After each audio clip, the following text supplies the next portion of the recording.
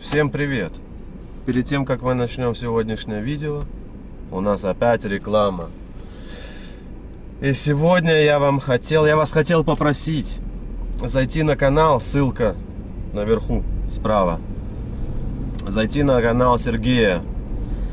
Э, Сергей у нас начинающий, молодой блогер из Германии. Снимать у него, к сожалению, часто сейчас не получается. У них в семье родился маленький ребенок. И сами знаете, каково, когда рождается маленький ребенок. Эм, зайдите, посмотрите. Если вам не трудно, подпишитесь. Поставьте пару лайков. Человек будет вам благодарен. Заранее всем спасибо. Так, сегодня у нас тема чеки. Чеки. Значит, э, кто смотрел, э, видео называлось День, День из моей жизни, если я не ошибаюсь. Недавно у меня вышло. И там я съездил в строительный магазин, купил пару деревяшек для дачи, пару железок. И мне присмотрелся один простенький гриль. Мы около дома иногда тоже грилем за 70 евро, по-моему. Я его тоже схватил. И распечатал я его вот только недавно, спустя 10 дней в подвале. Хотел собрать. Значит, открыл, все это рассыпалось. Много деталей там очень. Ну и я смотрю, смотрю на это. Нету инструкции по сборке. Думаю, что за фигня? Посмотрел, нету действительно инструкции по сборке. Пошел, сел за компьютер, нашел в интернете этот гриль, нашел инструкцию по сборке к нему. Смотрю на инструкцию, как что. Вижу, значит, пошаговые там всякие действия.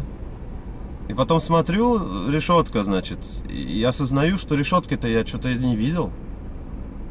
Гриле. Побежал опять в подвал, посмотрел, действительно, нету на гриле решетка. Думаю, что такое? Может, на упаковке написано, что без решетки. Я схватил, что нету решетки у гриля. Э, посмотрел, нигде ничего не написано. Смотрел на фотографию, решетка нарисована. Короче, оказалось, что у меня, видимо, открытая была пачка. Она, может быть, раскрылась сама по себе, потому что тяжелые детали внутри. И, видимо, рассыпалась где-то. И они инструкцию, значит, эта решетка, может быть, куда-то завалилась. Фиг его знает, что там произошло. Короче, гриль я, естественно, не собрал. Начал думать, куда я дел чек. Посмотрел видео, когда я снимал этот обзор, то, что я закупился. Чтобы попытаться понять, у меня вообще есть такой пакетик с чеками, но туда я его не положил. Думаю, неужели...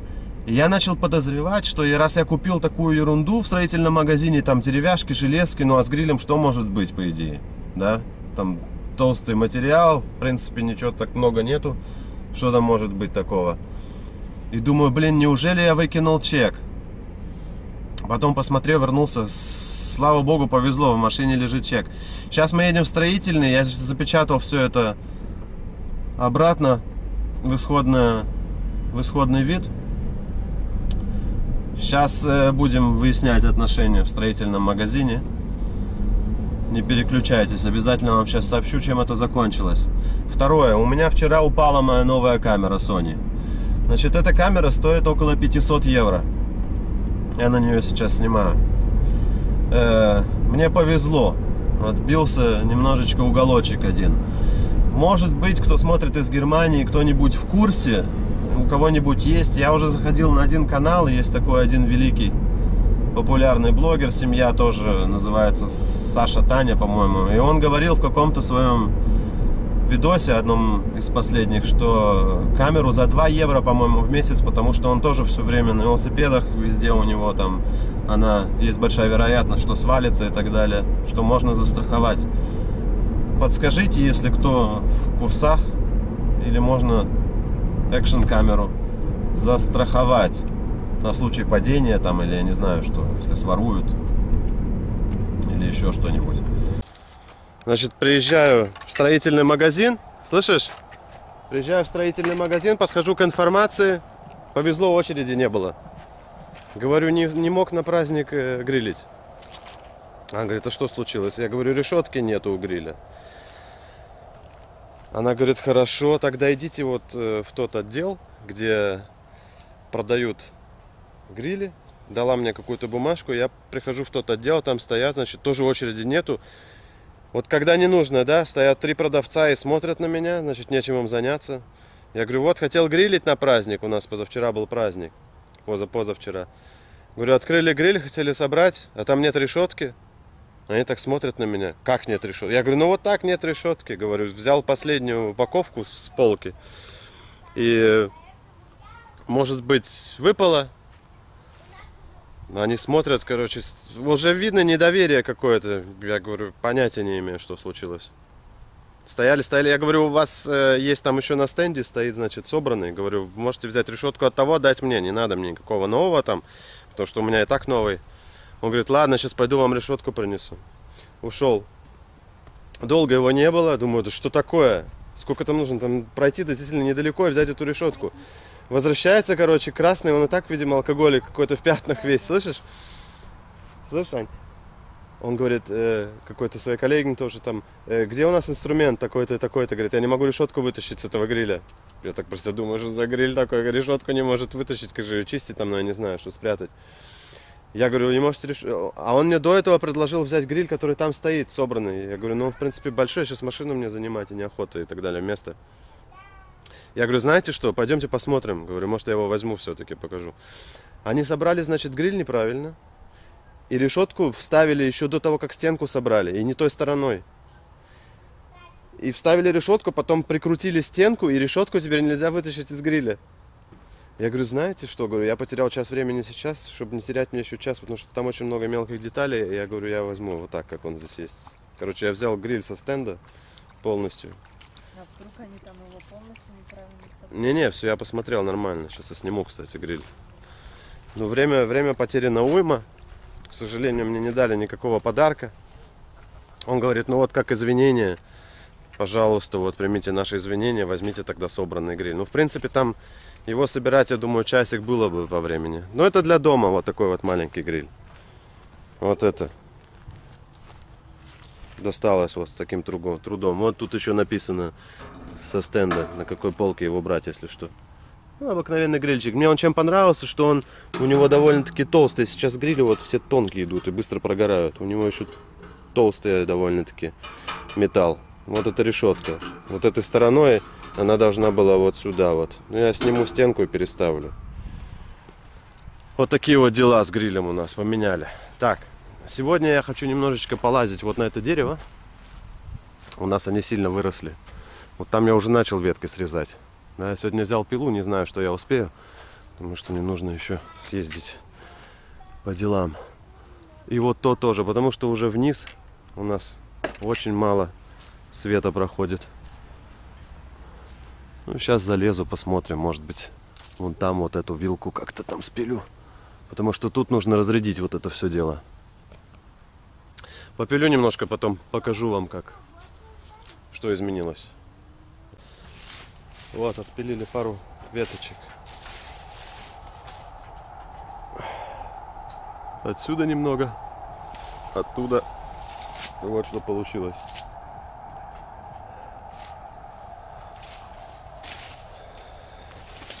Теперь надо будет все это разбирать. Большие я уже чурбаки вот распилил.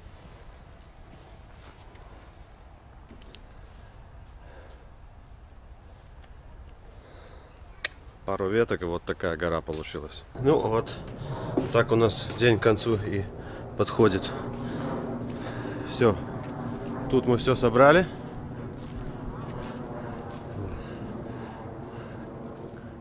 5-6 веток и все, и на весь день работы. Все, эти кучки сейчас соберем. А это я всего лишь перетащил вон туда. Будем все это перерабатывать на мелкие и крупные. Мелочь. Самое мелкое будем увозить.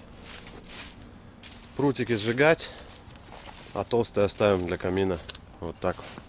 Все это выглядит уже после переработки. Крупные отдельно будут лежать здесь. Средненькие А сюда мы загружаем листья и прутики совсем маленькие. И увозим, потому что некуда складывать у нас. Было бы куда складывать, можно было просто валить все это. А так вот несколько веток спилишь и все.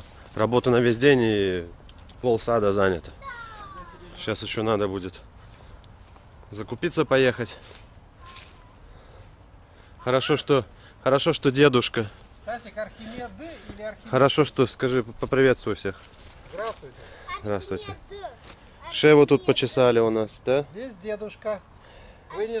Кстати, мы сейчас э, столкнулись с такой проблемой. Мы играем в слова, и Даша сказала слово Архимед. Вот у меня по русскому была слабая троечка. Архимед. Мы не знаем Архимед Д или Архимед. Д. Д. Мне кажется, Д. Д, Я да? помню, как писалось. да. Архимед. Архи... Не Архимед ты ж. А как ты считаешь, Шева? Шева хочет Ну, кушать. она очень задумчивая. Смотрит. устала. в камеру. Короче, Архимед. Значит, на какую букву у меня?